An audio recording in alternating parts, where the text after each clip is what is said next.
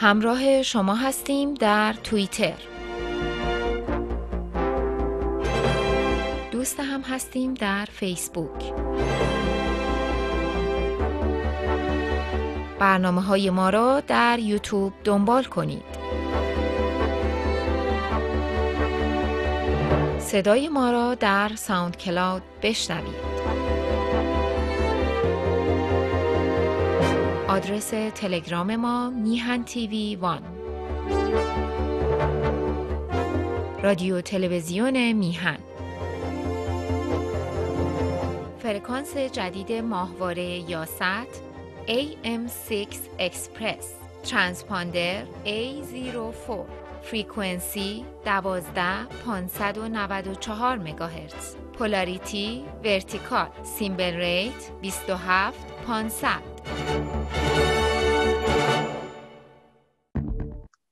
با سلام به بینندگان گرامی تلویزیون میهن و تشکر از دوست گرامیم آقای سعید بهبهانی. چند خبر هست که می‌خواستم اونها رو بگم. آخرم خوباشو میگم که به اون ختم بشه. در 542 هجری دوران سلجوقی میشه عمر خیام. احتمالا هم در معماری این جاها اونا دست داشتن. یعنی در دوره سلجوقی یه بنایی هست که از نظر تقویمی چون یلدا می‌خوام تبریک بگم بی نظیره اون قبر تغرل سلجوقیه. اون هم زمان ناصرالدین شاه داشت ویران می‌شد. خرج واقعا ممنون این کار ناصرالدین شاهی زیادی گذاشت و این رو تعمیر کرد و تا حال باقی مونده. درست به شمال جنوب جغرافیایی تنظیم شده و شرق و غرب. 24 تا دندانه داره. نوروز تشریف ببرید و اول به پاییز دوازده دندانه روشن دوازده تا خاموش. سه ساعت زنده است. یلدا برید. فرض کنید که روز مثلا 16 ساعته 16 تاش تاریک در دوازده ظهر برید. هشتاش روشنه. اول تابستون هم که بریم برعکسه. و از روی این میشه ساعت تنظیم ساعت هم کرد. به نیم ساعت هم اون بالاهاش چیز هست که من وارد اون نمیشم. و یکی از مفاخر این قبر تغرل که سا اسماعیل اومده اون قبرها رو کنده به خاطر اینکه سنی و ولی خب برج باقی مونده خوشبختانه از آفت صفویه واقعا این هم یه اثری بسیار زیبا به نام گنبد سرخ. در ویکیپدیا بزنید گنبد سرخ. به ترکی میگن مراغه است قرمز جنبز. گنبد هم گنبز میگن به همون واژه قدیمی. قرمز گنبز 90 سال هم از ثبت نام این در فهرست آثار ملی در ایران میگذره. یعنی اوایل رضا شاه ثبت شد. 1999 1309 ثبت شد. بله 90 سالش. باید گفت که این بنا در 20 سال گذشته یعنی نصف جمهوری نکبت اسلامی بیش از 900 سال عمرش فرسوده و خراب شده است. قرمزی گنبد یا گنبد سرخ مراغه بنایی است که تزیین اسکناس ده هزار تومانی از تزیینات سر در آن و آرم شرکت سایپا نیز از تزیینات کاشی آن اقتباس شده. دوست عزیزی که اینو نوشته من ممنون ایشون هستم. اینا رو من نمی‌دونستم. و چون اجازه ندارم اسمشون رو نمیارم. و اریک شودر آن را شاهکار معماری جهان از نظر آجوری دانسته ببینید تصادفی نیست که این تقویم زمان ملکشاه تثبیت میشه. من یه سخنرانی در تلویزیون میهن دارم. چون وقتی تغرل بنیانگذار سلجوقیان در مقبرش چنین دقتی برای تنظیم سا... شمردن ساعتهای روز به کار میره یعنی نجوم و مهندسی اونقدر پیشرفت کرده جوان 24 ساله هم به نام عمر خیام نیشابوری در هزار و هفتاد و دو سال تاجگذاری همین ملک شاه سلجوقی که بزرگترین امپراتوری بعد از اسلام تاریخ ایرانه. یعنی از کاشخر چین تا دریای مدیترانه. و آخرین سال ملکشاه آرتش سلجوقی به پنجاه کیلومتری استانبول رسید. 1092 که امپراتور بیزانس که فقط شهرش مونده بود از پاپ اوربن دوم کمک خواست جنگ های صلیبی شروع شد. 200 سال صلیبی. اوج توحش دینیه. بله.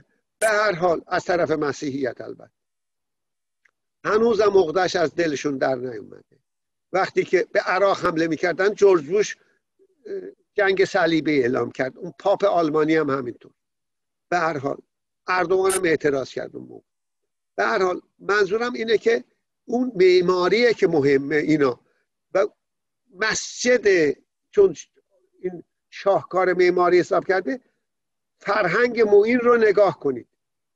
مسجد جامع اصفهان جلد پنجمش.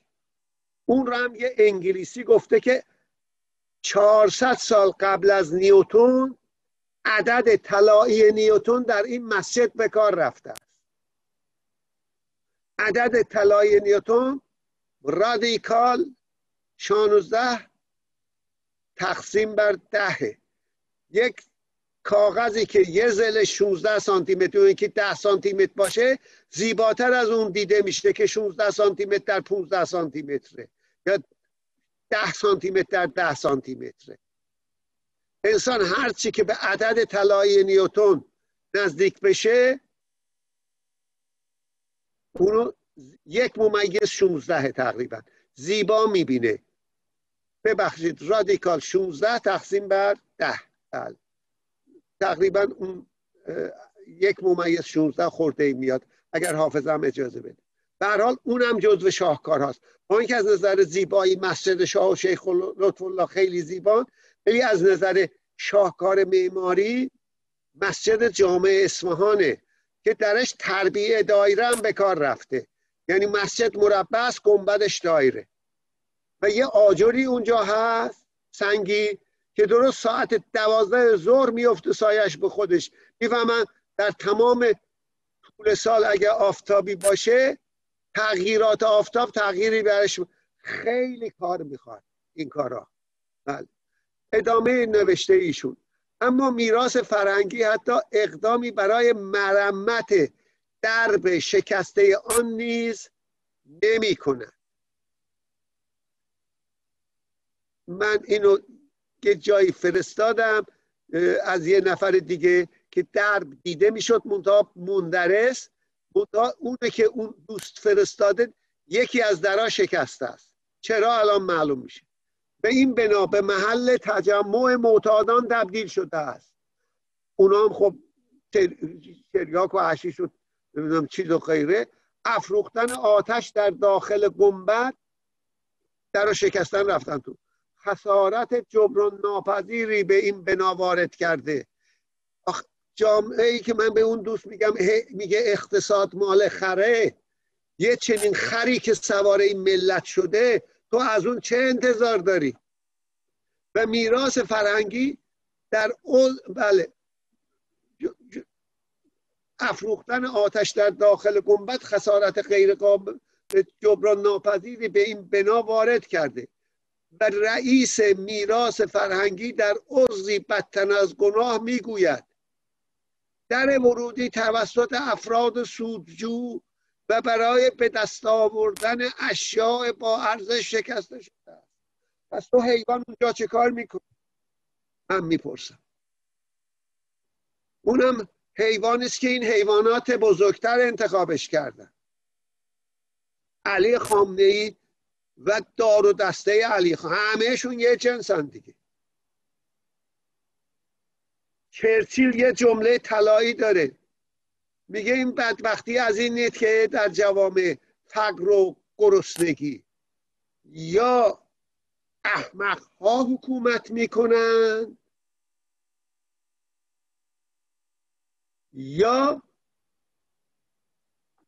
حماقت به قدرت رسیده است. جمله ببخشید. اقتصاد ضعیف و فقر فقط دو دلیل دارد. یا حاکمان احمقند یا احمق ها حاکمند. هر دوه. و این بنا به محل تجمع معتاد در در ورودی توسط افراد سودجو برای به دست آوردن اشیاء با ارزش شکسته شده است.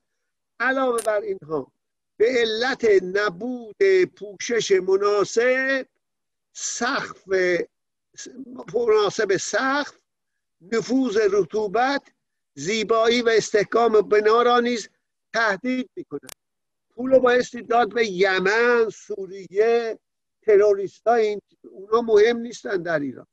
با گذشته ده روز از انتشار تصاویر که این دوست منتشر کرده بود.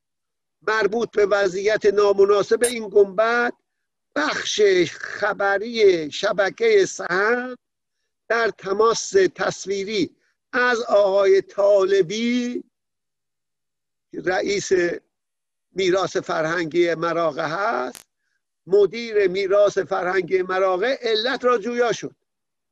جناب مدیر در حالی که تصاویر این همه تخریب همزمان با صحبتهای ایشان از تلویزیون پخش می‌شد اظهار داشت که خدا را که ساختمان این بنا هیچ مشکلی ندارد و مجری تلویزیون نیز از ایشان تشکر کرد. این دوست عزیز من می نویسه دوست آشنای ناشناس من هرگز ایشون رو ندیدم و نمی‌شناسم ولی قلبا می‌شناسم. وظیفه دلش میسوزه. وظیفه مجری و گزار... یا گزارشگر در این قبیل موارد چیست؟ آیا فقط همین است که سوال نوشته شده را پرسیده و مثل گاو به دهان مهمان برنامه نگاه کرده و چیزی نگوید؟ مهمانش هم مثل خودش دوست عزیز. هر حال این این بخشی بود که خدمت عزیزان گفتم. حال برسم پیدا شدن فاجعه دوم جسد کریمه بلوچ از زنان فعال شرق بلوچستان در تورنتو به گزارک رسانک. دوشنبه اول دی. جسد کریمه بلوچ از زنان فعال در شرق بلوچستان و رئیس سابق سازمان دانشجویان بلوچ چه آزاد در تورنتو کانادا پیدا شد. کریمه بلوچ پناهنده کانادا بود و در سال 2016 توسط بی بی سی به عنوان یکی از صد زن الهام بخش و پرنفوذ جهان معرفی شده پلیس تورنتو گفته است کریمه آخرین بار در روز یکشنبه سی و یکم آذر 1399 حوالی ساعت سه بعد از ظهر دیده شده است. با این حال خانواده وی تاکید کردند که جسد کریمه بلوس که پیدا شده بسیاری بر این باورن که و اعتقاد دارن که کریمه بلوس شخصیت مشهور پیش هنگام و در فعالیت سیاسی زنان بلوچ بوده. وی بارها موضوع بلوچستان و ستمی را که بر ملت بلوچ در ایران به خصوص در پاکستان اندک و افغانستان می شود را در جلسات ملل، سازمان ملل در سوئیس مطرح کرده بود. حقوق بشرش. ناپدید شدن و مرگ ناگهانی و غیر قابل توضیح تا لحظه تنظیم این خبر او نگرانی های جدی ایجاد کرده است. لازم به ذکر است که در اوایل ماه مارس 2020 ساجد حسین ساجد حسین دیگر پناهنده و روزنامهنگار بلوچ در سوئد ناپدید و جسد وی پس از مدتی در یک رودخانه پیدا شد. از قتلهای زنجیره‌ای معاصره های این هم یکی از شاهکارهای احتمالا جمهوری اسلام. خانواده و دوستان آشنایان وی ادعا می کنند که وی به قتل رسیده است یعنی خانم کریمه بلوچ. ماشین ربایش ترور و ماشین ربایش ترور و قتل رژیم های همچون ایران و پاکستان در سالهای اخیر بسیاری از فعالان سیاسی و حقوقی بلوچ بشری بلوچ را در کشورهای مختلف به کام مرگ کشانده است. مسئله ای که نه تنها باعث ایجاد روب و وحشت در بین فعالان بلوچ نشده براو بلکه انگیزه و فعالیت این افراد را بیش از پیش نمایانتر کرده حالا تبریک اولا عید یلدا تولد میترا در عین حال که از آن پس روشنایی حقیقت حیات فعالیت و جنبه خدایی شروع بر بنا اعتقادات گذشته. غلبه 300 سال قبل از تولد مسیح تولد میترا به عنوان پیغمبری که تجسد خدای میتراست. اون خدای میترا روز تولد نداره. اون در ریگودا وجود داره. در کتیبه هخامنشی وجود داره.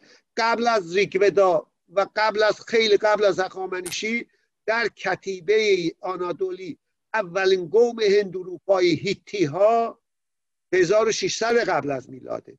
ریگودا عرض خدمت حدود هزار قبل از میلاده.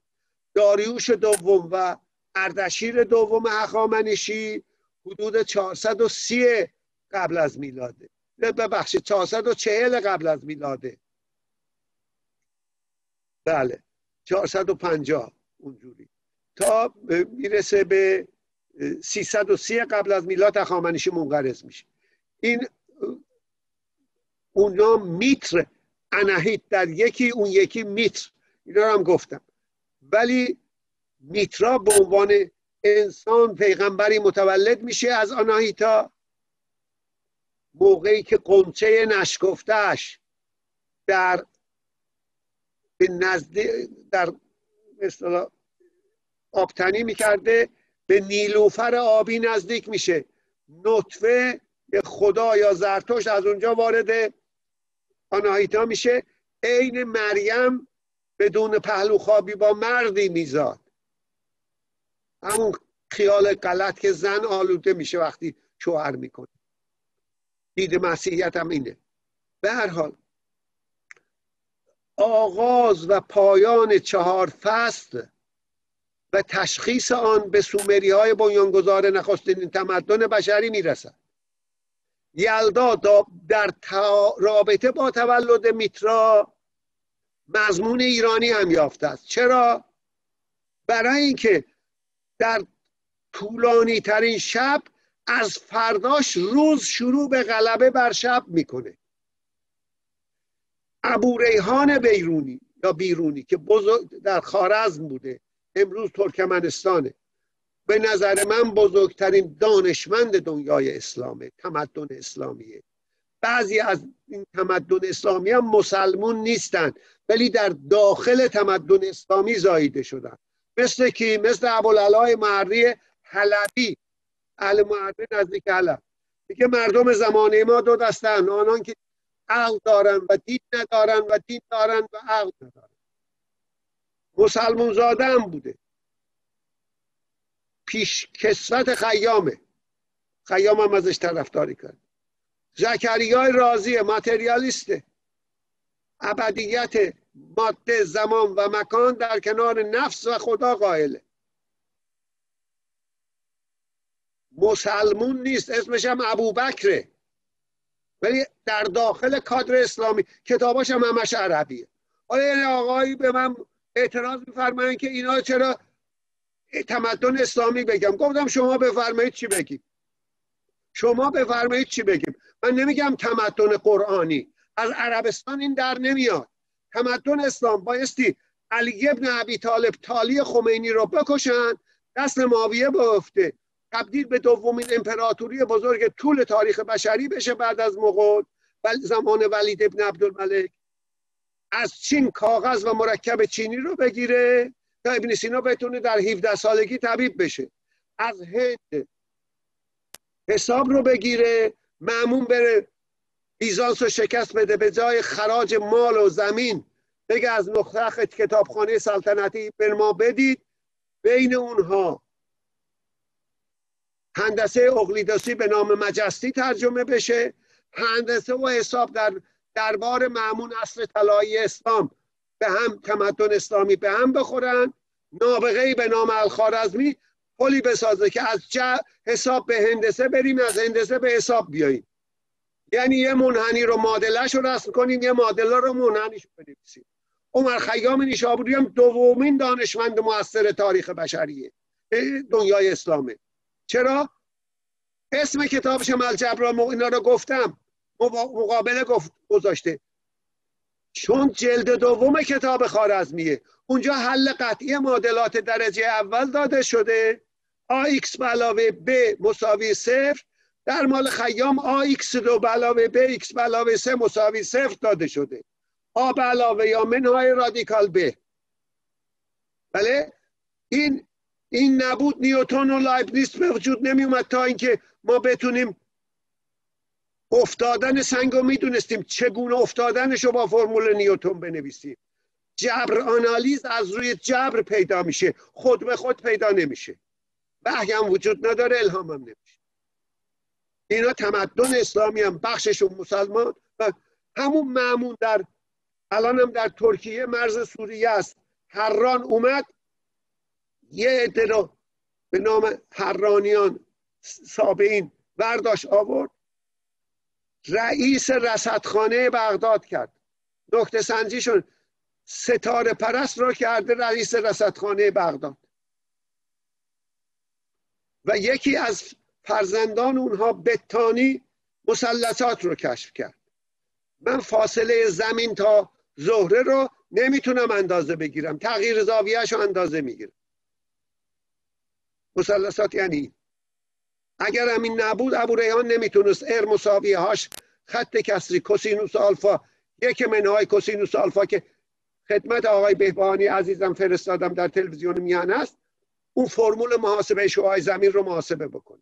به حال ابو ریحان بیرونی میگه که در تشخیص این چهار فصل برای کشف اول تابستان و اول زمستان یعنی شب یلدا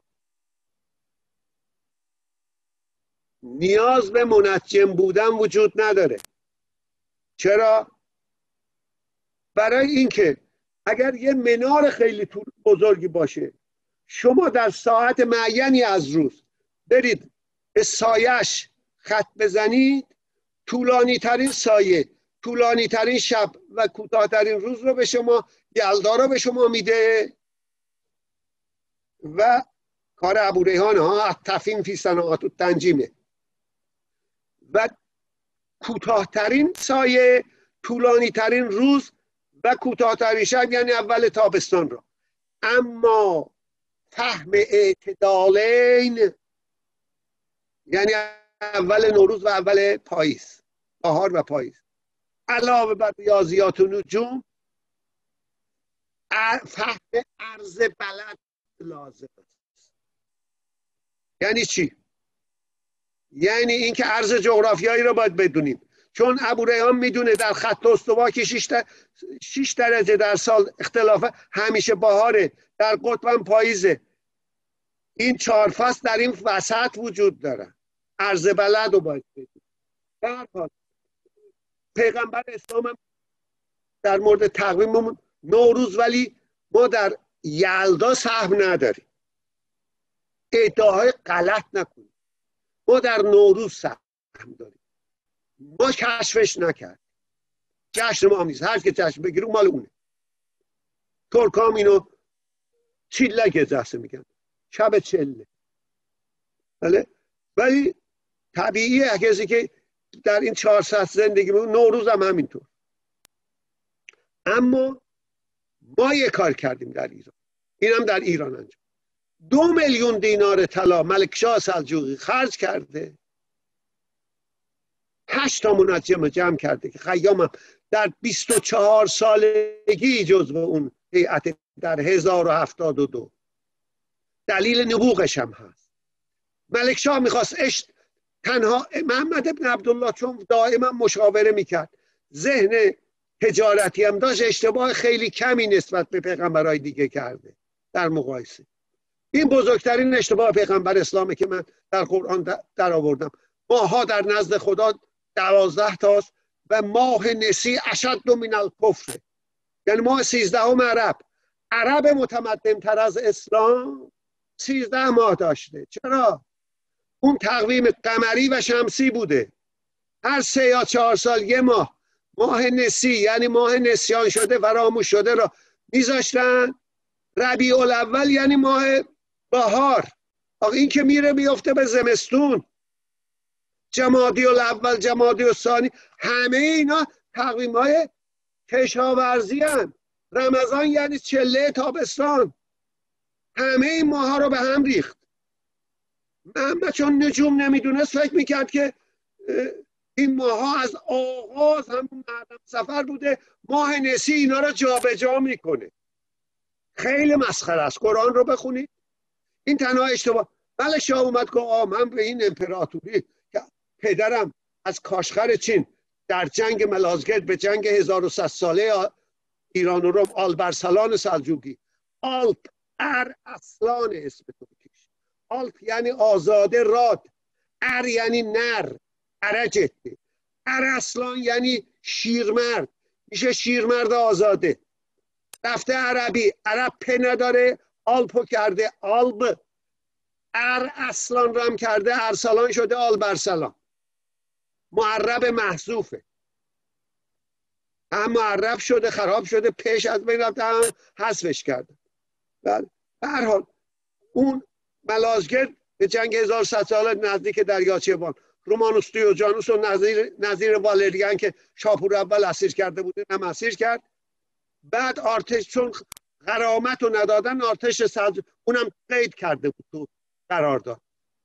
آرتش سلجوقی رفت تا اون ور مدیترانه که شهر سلجوق کنار دریاه و زمان ملکشاه گفتن رسید به دروازه های استانبول. ملکشاه جهت جمعآوری مالیات در این امپراتوری تقویم دقیق محمد نبود که در مدینه باشه. اصلا متوجه نشه که بعدا دنیای اسلام رو دچار بحران می‌کنه. دوبارم زمان معمون و متوکل و غیره سه بار سعی کردن تصریح کنن نشد. چون محرم میافتاد زمستان نمی‌تونست بره مالیات جمع کنه. مرشک آقا محمد ابن عبدالله اول نوروز منم مسلمونم جلال الدوله ملک شاه. محمد اسمش هم حسنه. محمد از همین نوروز حرکت کرده آخوندها خفش. و نوروز. خمینی هم اومد خواست احیاش کنه.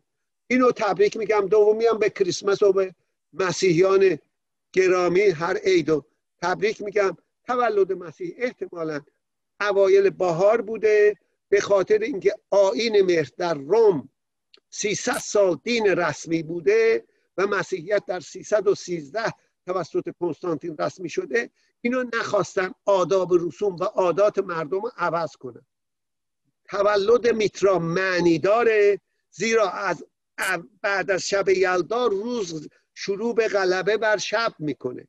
اما تولد مسیح در معنای یهودین معنی داره. چرا؟ مسیح امروز 24 غروب متولد شده. ولی در اون دوره روز رو از ظهر حساب می‌کرد در نتیجه بعد از ظهر میافتاد در واقع به 25 اینه که 25 26 27 28 29 30 31 یه هفته میشه. در تورات نوشته اینا رو در نقد یهود گفتم. هر بچه ای که روز هشتم ختنه راجب ابراهیمه. ختنه نشود از من منقطع می شود یعنی دیگه یهودی نیست. عیسی مسیح را هم فقط در انجیل لوقا نوشته. روز هشتم بردن ختنش کردن. ولی چون دین مسیحیت ساخته دین پولسه پولس برای اینکه مسیحیان رو از یهودیان جدا کنه گفت ما خطه معنوی شدیم دیگر خطه نکنید در نتیجه کسی که ختنه نشود یهودی نیست. بله؟ یعنی مسیحی را اینجا از یهودیت جدا کرد. ولی من از یک کشیش بسیار شریفی در پاریس هستند پرسیدم به من که آقا اول ژانویه چیه که سالتون شروع میشه؟ گفت می‌دونی؟ نگفت خودشم. گفتم آره ختم سوران مسیحه گفت این سر کلیساز از کجا فهمیدی؟ یعنی دو هزار سال جشن می‌گیرن اکثریت نمی‌دونن روز ختم سورانه. چرا؟ درست روز تولد حقیقی هر فرزند یهودی روز هشتمشه که هم اسم براش می‌ذارن هم به جامعه یهودیت وارد میشه و ختنش می‌کنن عین اون پستی که بچه مسیحی رو میدن موقع تولد اینم هم همینطوره. در اسلام تا قبل از بلوغه. و جالب اینه که در اونجا ابراهیم اسحاق رو در هشت روز هشتم و اسماعیل رو در سیزده سالگی. چون این رو یهودی ها از مصر برداشتن. در مصر در سیزده سالگی ختم می‌کردن چون مادر این هم هاجر چون یهودی ها عقده مصری داشتن یک خانم مصری رو کنیز یهودی کردن هاجر رو. که مادر اسماعیل. ممنونم. همینقدر در حال هر جشن رو باید جشن گرفت. ولو مذهبی تبریک میگم به عزیزان. من خیلی طولانی شد این بحث و عرض خدمت شما اندکی از این زندیات اسکندری می‌خونم و یه توضیح کوتاهی فصل دوم بخش آخر چهارم رسیدم. تحول شکل حکومت و شیمه اعمال قدرت دولتی در ایران در ایلام یعنی در ایران, ایران دیگه قبل اولین. اونجا سه تا رو اسکندری اسمها رو برد و تحول اینا را هم نشون داد. ایشاکو آخوند شاهه شاکاناکو شاه آخونده. شارو به اکدی لوگال به سومری. این شاهه. دیگه از روحانیت جدا شده روحانیت زیرش قرار گرفته تحت سلطهش قرار. تا اینجا رو آورد. دنباله سخنرانی بعد رو می‌گیرم. به شهادت اسناد کتبی همزمان با سلطنت آوان اولین دولت ایلامی است. بعد شوش میشه. در برخی شهرهای دیگر ایلامی نشین از قبیل برخشه سیماش انشان کوروش هم اینجا متولد شده. 500 و عرض خدمتتون شست پنجاه پنج قبل از میلاد حکومت رو تشکیل داده و حدود 24 سالم در تولدش اختلاف. بله.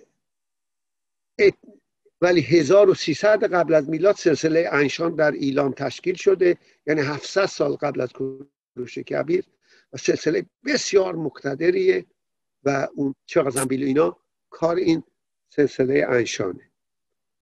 اینا خونبان را هم به این شوشیناک اضافه کرد.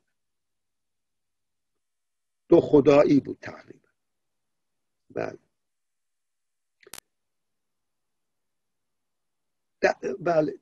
به شهادت اسناد کتبی همزمان با سلطنت آوان و شوش پشتش در برخی از شهرهای دیگر ایلام نشین از قبیل بارخشه سیماش و آنشان اتخاذ عنوان اکدی شارو لوگال به زبان سومری به معنای شاه از جانب حکمرانان معمول بوده است. گمان می رود علاوه بر تفوق نظامی اوان به ویژه در زمان پوزور این شوشینک که نامش هم به شوش خدای شوش منصوب می‌کنه. اسم اصلیش کوتیکه. پشت سر لقب این شوشیناکه یا پوزوره. عوامل داخلی دیگری در تشکیل نسبتا سریع دولت واحد در شکل ویژه حکومت ایلام و در پایداری و ادامه این وحدت تاثیر تعیین کننده ای داشت.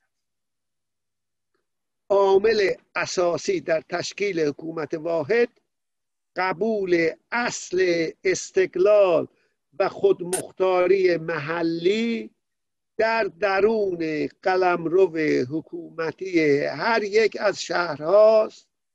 در عین تابعیت سیاسی و نظامی همه آنها از فرمان روای واحدی که در درون این اتحاد به دلایل تاریخی سمت پیشوایی یافته است. یعنی شاهنشاه شده. او شاه این شاه اونا اونا از لحاظ سیاسی و نظامی تابع اینه ولی از لحاظ اداره کار داخلیشون شاه من مردمان خودشون شهر خودشون معنی شاهنشاه طور اولین بارم هم این پوزور این شوشیناک به کار برده در تاریخ. زنده یاد. من خیلی متاسف شدم. واقعا فاجعه علمی بود.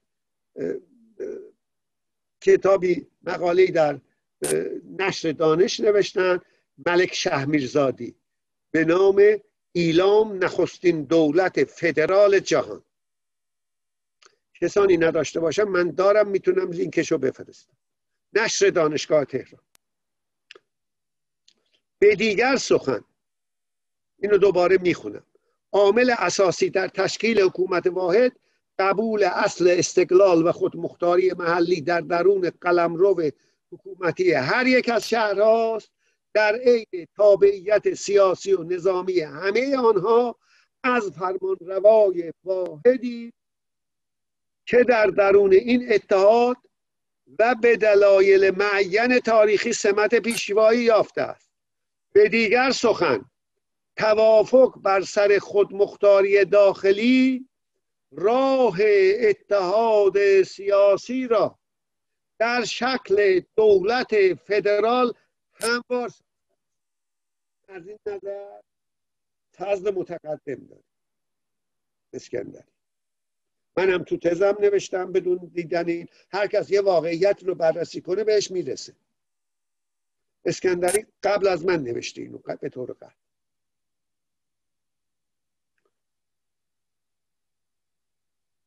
بله. به دیگر سخن توافق بر سر خودمختاری داخلی راه اتحاد سیاسی را در شکل دولت فدرال هموار ساخته است. شواهد متعدد تاریخی نشان می‌دهند که حلقه اساسی در تشکیل و دوام شکل فدرال دولت واحد علا رغم نقشیب و فرازهای گاش کننده و مهلک وجود خارجی. عبارت از وجود خیشاوندی و مناسبات همخونی طایفه میان خاندانهای حکمرانان نواحی عمده ایلام بوده است. ویژگی دولت واحد ایلام تنها در شکل فدرال حکومتی نیست بلکه در شیوه اعمال قدرت دولت مرکزی و مراحل اشغال مقامات حکومتی از سوی و ترتیب وراست تاج و تخت از سوی دیگر است.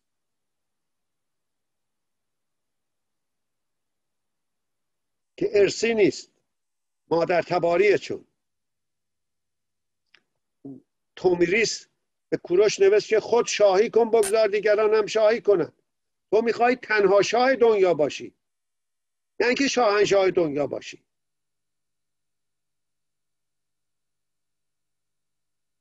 از کتیبه پوزور این شیشینا به سه عنوانی که در دست خود متمرکز ساخته است چنین مستفاد می شود که پیش از تشکیل دولت واحد ایلام نیل به مقام شاهی اوان مستلزم طی مراحل ایشاکی شهر شوش و شکاناکوی ایلام بوده است.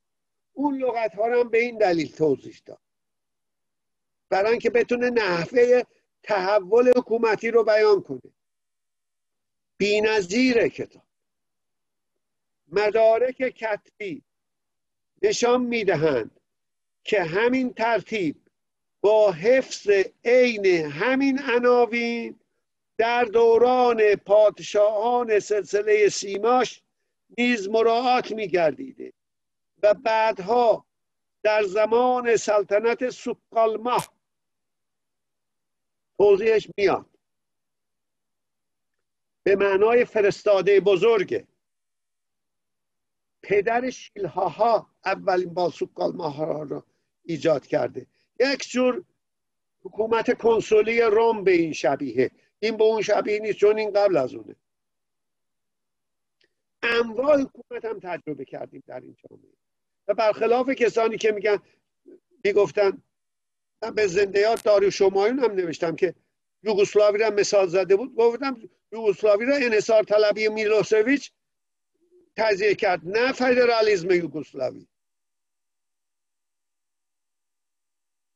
و فدرالیزم برای اتحاد شهر دولت ها در تاریخ ایران هم همینجور به وجود اومده. برای اولین بار در تاریخ بشری هم.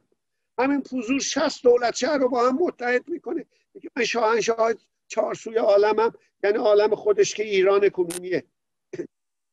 از کاشان و کرمان و استان فارس و خوزستان و لورستان تا کاشان. قلم رو تجارتی و نفوذیشه. خطیش فرهنگش. بله. مدارک کتبی نشان میدن که همین ترتیب با حفظ عین همین عناوین عنوان ها یعنی این شاکوی شهر شوش شاکاناکوی ایلام و بعد شاهنشاه کل ایلام. مملکت. بله. نشان همین ترتیب عین همین نوان در دوران پادشاهی سکالماه فقط با تغییراتی در عناوین به همین شیوه عمل می شده است.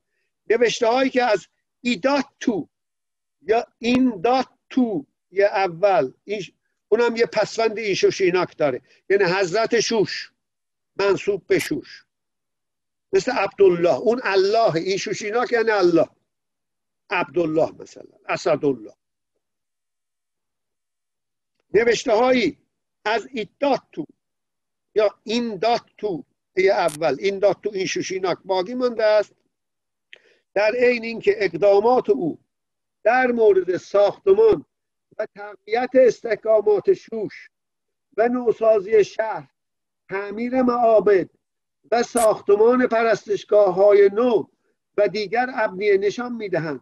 مراحلی را که وی تا رسیدن به مقام سلطنت سیماش و ایلام اشغال نموده است روشن می سازد از عناوینی که ذکر شده معلوم می شود که ایتاتو اول حتما مقام ایشاکوی شوش و سپس شاکاناکوی ایلام را داشته و سرانجام عنوان پادشاهی سیماش و ایلام را یافته همون سه تا مرحله دیده میشه. اون آخوند شاه شوشه. این شاه آخوند ایلامه هیچ شاهنشاه ایلام دیگه مذهب رفته کنار. بنابراین برای اشغال مقام سلطنت مرکزی عبور از مراحل دوگانه لازم بوده است. شاهی انتخابی بوده یعنی. و این در واقع همان ترتیبی است که لاقل از زمان فضول این شوشینا به اتحاد شهرهای مختلف تحت عنوان حکومت واحد برقرار شده بود. با این تفاوت که در آن هنگام پادشاهی آوان با عنوان پادشاهی ایلام توأم بوده که در دوران سلسله سیماش پادشاهی سیماش با این عنوان همراه میگردد. سیماش و ایلام میشه. در زمان سلسله بعدی یعنی سلسله سکال ها رسیدن به مقام سکال ماهی مستلزم عبور از مقام پادشاهی شوش دیگه مذهبیش حذف شده و سکال ماهی ایلام و سیماش می باشد. عنوان سکال ماه یا سکال ماهو به معنای فرستاده بزرگ از زمان شیلها بزرگترین چهره تاریخ ایلام معمول میگردد.